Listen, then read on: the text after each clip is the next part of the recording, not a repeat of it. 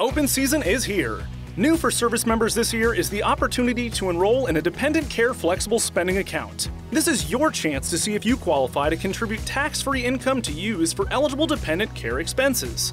Visit fsafeds.com slash explore slash USMDC FSA to determine if a dependent care FSA is right for you.